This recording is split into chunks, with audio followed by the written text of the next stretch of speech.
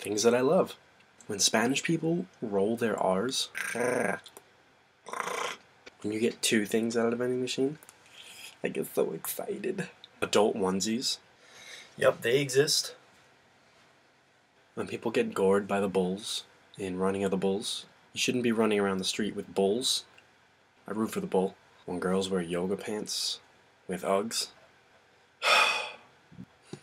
Justin Bieber. I'm a believer.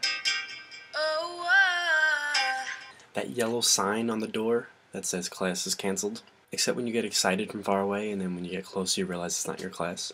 I don't like that. Booze. Beers, beers, beers. When McDonald's accidentally puts someone else's order in with your shit, so you have like double the McDonald's, unless it's fish fillet, then that's I don't like that either. Fish filet Finding a random 10 or 20 in your pants pocket. When someone cuts you off and you later find them farther down the road, pulled over by a cop. Ah, dick. The New York Rangers. Getting a naked seed in a bag of sunflower seeds. Farting. Don't judge me. Dinosaur nuggets. Yo.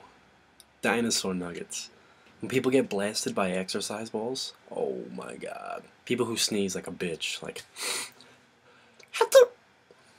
let it all out. But I love it. I love it. I personally like when people ball so hard that motherfuckers try to find them.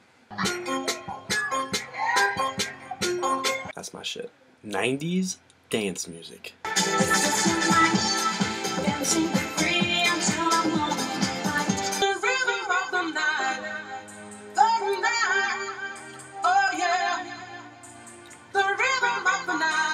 And of course, all you guys that follow me on Twitter and subscribing to my videos, I appreciate that.